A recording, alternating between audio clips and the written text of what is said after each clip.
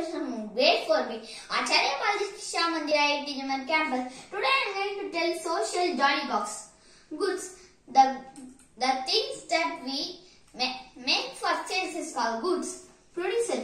Producer is a person who, who, who pro- produce the things for sales is called producer. Consumer. Consumer is a person who who buy, buy the goods and use as goods. Goods.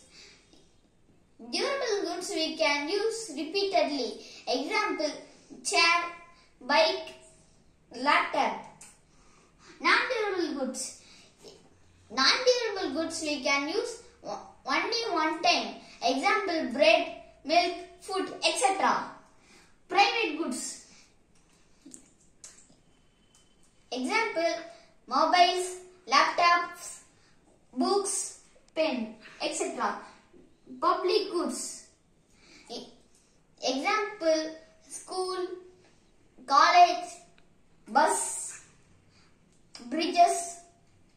Natural resources. Natural resources are resources in the earth. Market. Market is a place consumer will consumer and producer will meet uh, and sell the goods.